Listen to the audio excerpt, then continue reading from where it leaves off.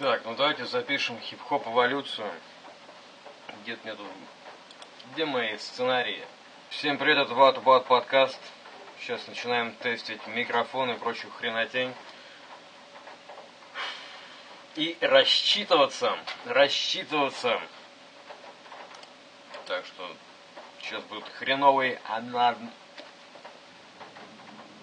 Дубли будут хреновые. Надо хочешь начать, дамы и господа? Переместимся в 85 год. Переместимся в 85 год. И еще раз. Переместимся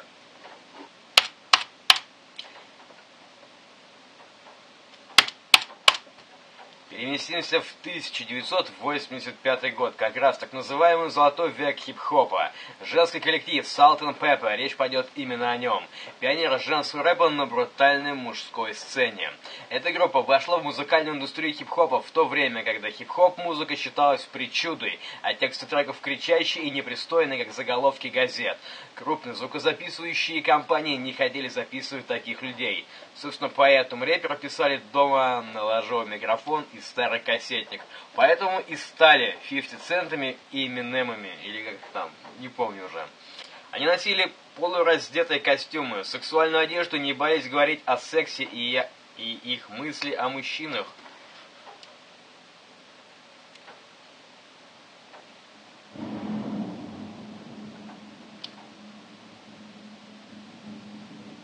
Охренеть, там дождь оказывается.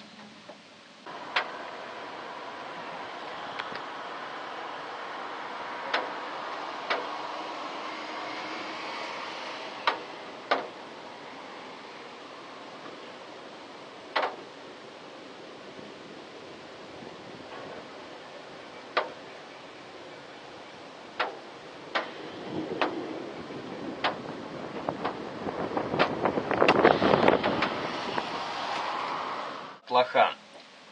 Э, когда он записывает видеоблог, он смотрит в монитор. Вот так, как я, как будто я косой такой.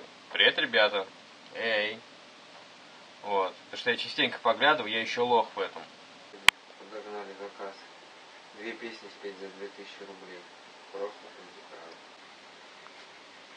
От родных с Чукотки с большой любовью. Хорошо. Сейчас от родных с Чукотки, ну по морде не дает. Кредиторы какие-нибудь, скажешь, коллекторы с гитарой пришли. Нет, не знаю. Я бы их выучил, но это другой бюджет. Вот это вот, э, Антон, вот это вот уже напряг. Давай вот э, без этого, пожалуйста. Я не люблю врать, а если врать буду, то за большие бабосы. Давай 100 тысяч мне плати, я совру. Ну что, день Второй блок About подкаст. Время 6 утра. По традиции просто у меня сбивается к лету вообще весь режим сна и бодрствования. В принципе, так и нужно. Летом валить куда-нибудь страны и отдыхать, но что-то не получилось. Не дали путевку на студию. Об этом я говорил в передаче «Хип-хоп эволюция».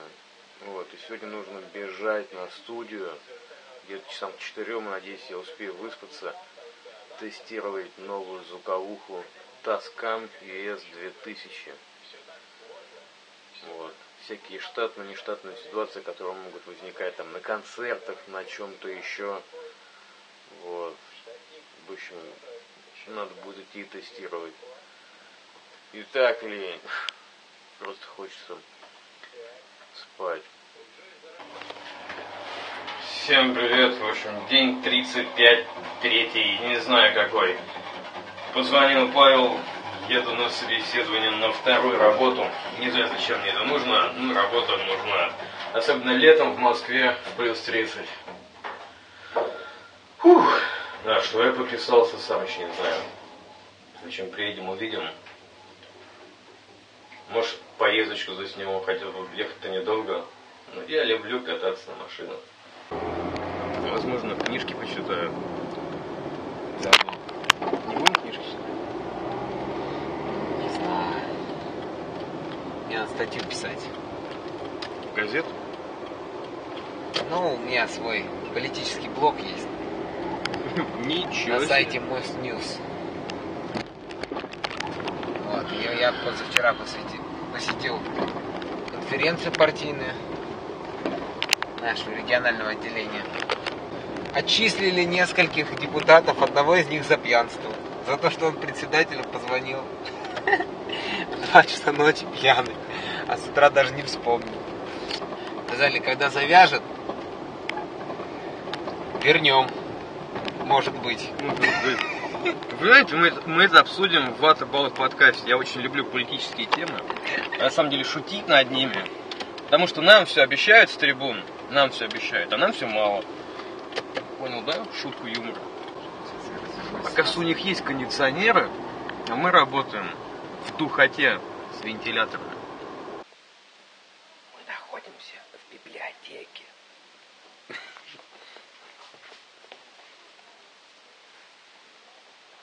Маленький музей.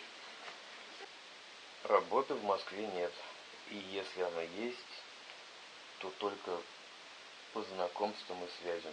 Thank you.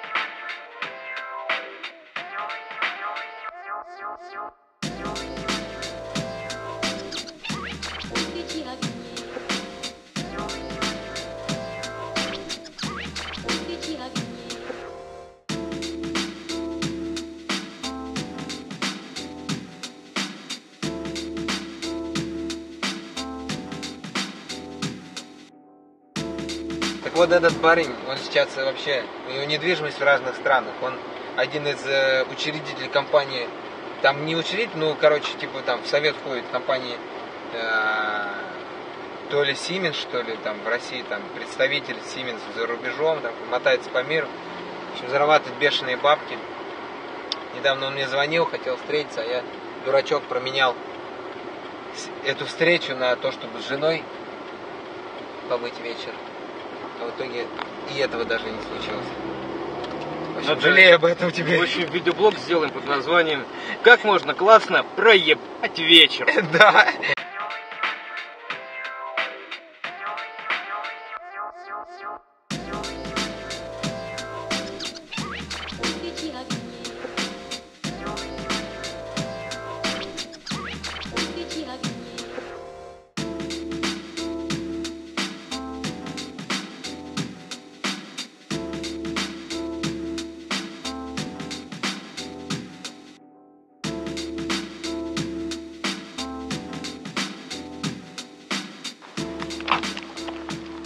Все, добрался до дома. Такая духота. Купил водички. Духота. Короче, неприятности. Домой. Быстрее. Под благо цивилизации, под великий, могущественный кондиционер. Вообще жесть. В Москве плюс 35, наверное. Дом, милый дом. Вы все притворяетесь, ты издеваетесь надо мной? Ради бога, здесь